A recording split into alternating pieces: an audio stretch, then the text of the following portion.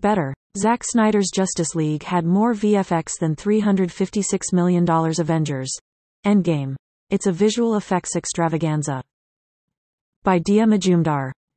Zack Snyder has always been a master storyteller, but the extent of his talents have never quite been dissected and held up to a pedestal until Justice League Snyder's Cut was released in 2021.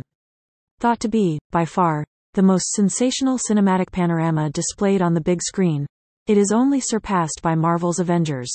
Endgame, the most celebrated pop culture phenomenon of recent times. So what then separates the two greatest pieces of cinematic storytelling on the big screen? Also read. See the Snyder Cut, Avengers. Endgame directors Joe and Anthony Russo acknowledge Zack Snyder's Justice League, call it the definitive DC movie. Zack Snyder's Justice League better than Endgame?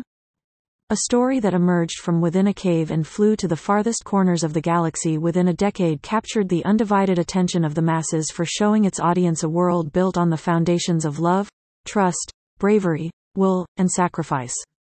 DC, on the other hand, thrives on an uncharacteristically fictional setting that does not fit into Stan Lee's definition of comics representing the world outside our window. Zack Snyder used this over the top escapism that rules DC, making his heroes more complex than was acceptable to the normal mind.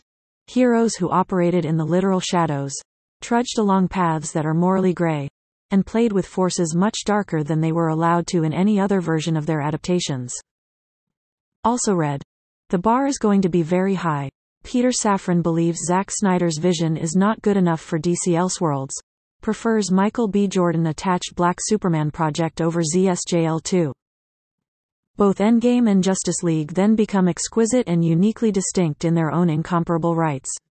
And the unquantifiable emotions that are attached to the two projects also become immeasurable in words, numbers, or tangible feelings. Zack Snyder sheds a light on the making of Justice League.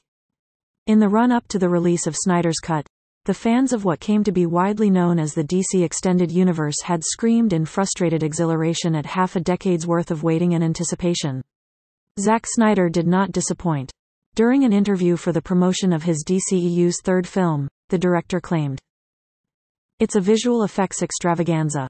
And, you know, my hat's off and kudos to my entire visual effects team. They do an amazing job. Worked so hard with them every day on this movie. And it's a labor of love for all of us. Also read. Henry Cavill wanted WB to not rush Justice League after Man of Steel. They did it anyway. It has to be done very delicately with a lot of thought.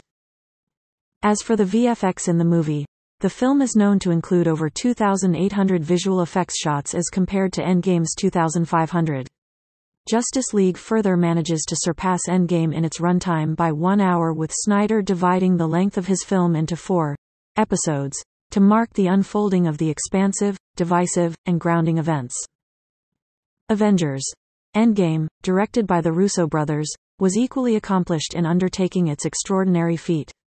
The duo not only merged the events of the past decade into the culmination of one grand showdown but intertwined a perfectly balanced platter of emotions, and juxtapositions of the past and the present mixed with a healthy dose of nostalgia and farewells.